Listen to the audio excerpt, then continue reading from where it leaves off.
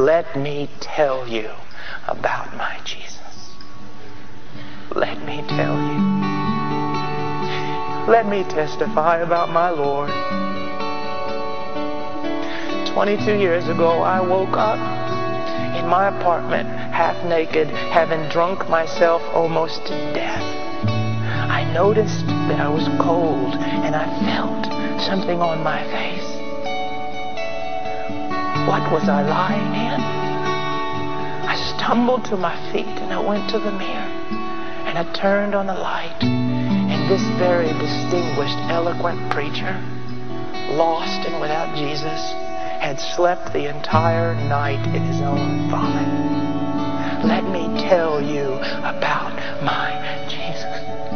He has saved me when I was such a wretch you would not have wanted to run me down with your car.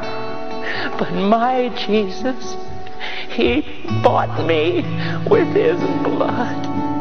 And my Jesus, he came to me, and my Jesus took away my sin, and my Jesus took away my shame. Oh, hail the power of Jesus' name.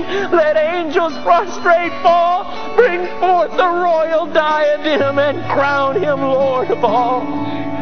That's my Jesus, and I glory in my weakness, and I glory, yea, even in my sin.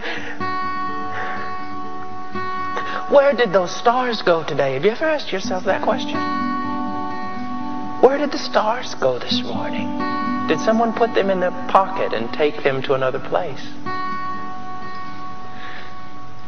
The stars were there, but there was so much light. They could not be seen. But I walked out. The pastor picked me up on the side of the road. I was outside looking at those stars. And I could only see those stars because of all the blackness around them.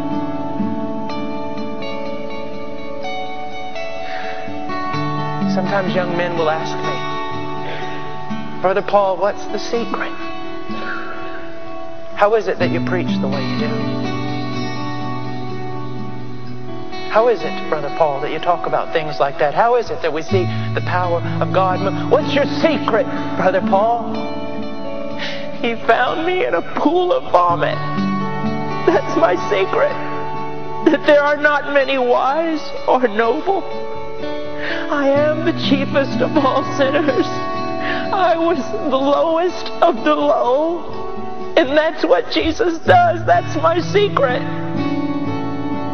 I had nothing. That's my secret.